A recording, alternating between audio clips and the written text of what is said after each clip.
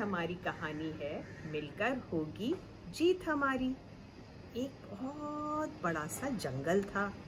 जंगल में एक छोटा सा खरगोश रहता था, जिसका नाम था बीजू। बीजू एक दिन पेड़ के नीचे सो रहा था। तभी उसकी एकदम से नींद खुली। कुछ आवाज़ आ रही थी, घर घर घर। बीजू ने फिर से सोने की कोशिश करी, फिर से आवाज़ आ गई, घर। घर घर घर। बीजू को ये आवाज़ जंगल में कभी पहले नहीं आई थी। तो बीजू ने कहा, क्या हो सकती है यह आवाज़? चलो, मैं अपने दोस्त बंदर से पूछता हूँ। शायद उसे पता हो। तो बीजू दौड़ा दौड़ा बंदर के पास गया। उसने कहा, बंदर भैया, जरा ऊपर से देखो तो ये आवाज़ किसकी है? कहाँ से आ रही है ये आवाज़? तो बंदर बोला हम्म चलो, उछल के जाता हूँ मैं। एक पेड़ से दूसरे पेड़ बंदर उछला और पहुँचा आवाज़ की तरफ़। फिर उसने कहा हाँ बीजू, देखो, दो आदमी है वहाँ और एक वो पेड़ की काटने की कोशिश कर रहे हैं। उसी की आवाज़ है, उनकी आरी चल रही है पेड़ के ऊपर। घर घर। बीजू ने बोला, अरे बंदर भैया, इन्होंने हमारा जंगल काट दिया तो हम कहाँ रहेंगे? सारे दोनों के दोनों दोस्त परेशान हो गए। उन्होंने कहा, चलो अब हम भालू के पास चलते हैं। तो वो दोनों पहुँचे अपने तीसरे दोस्त भालू के पास। भालू ने भी आवाज़ सुनी। उसने कहा, इसका तो कुछ जल्दी से काम करो, नहीं तो पेड़ काट देंगे और फिर हम कहाँ रहेंगे? तो सबसे पहले भालू ने उनको डराने की कोशिश करी। वो दौड़ा हुआ गया और लकड़हारों को हा करके डराया। फिर लकड़हारे कोई भालू से हाँ करके डरने वाले थे? उन्होंने अपनी बंदूक दिखाई और बेचारा भालू तो भाग के दुबक गया। अब बीजू और बंदर फिर सोचने लगे कि अब करें तो क्या करें, किसके पास जाएँ?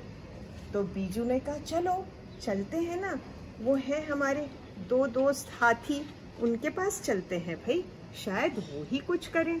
तो वो पहुँचे अपने दोस्त हाथियों के पास। तो हाथी दोनों बोले हाँ चलो, हम चलते हैं, हम ज़रूर डलाएँगे। तो हाथी पहुँचे लकड़हारों के पास और उन्होंने अपनी सूंड ऊँची करी और बोले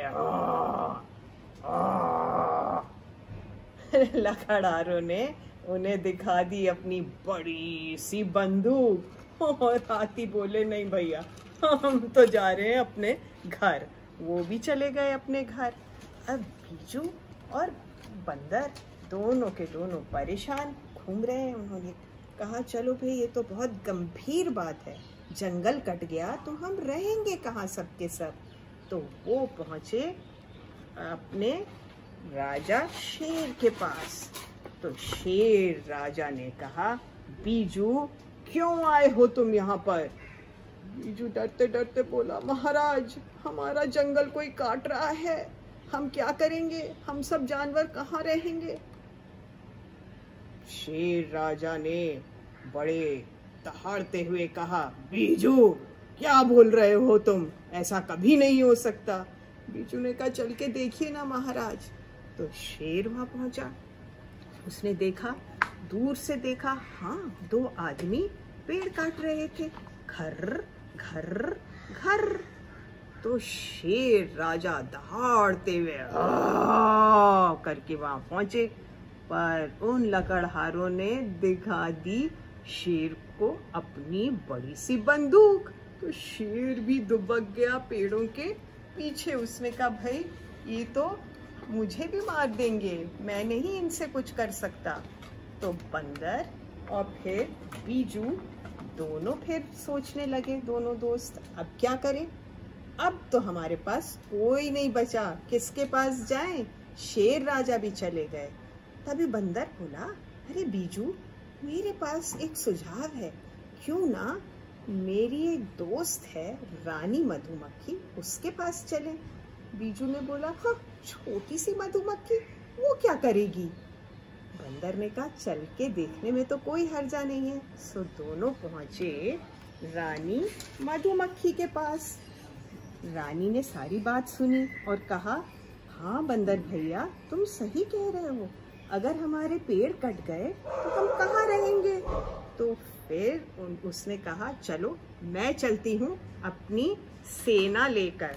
और रानी मधुमक्खी ने अपनी सेना ली और छोड़ दी उनको उन लकड़हारों के ऊपर। लकड़हारे, ओह ओह। बहुत बहुत काट लिया काट लिया। भागो यहाँ से। कहते हुए भाग गए।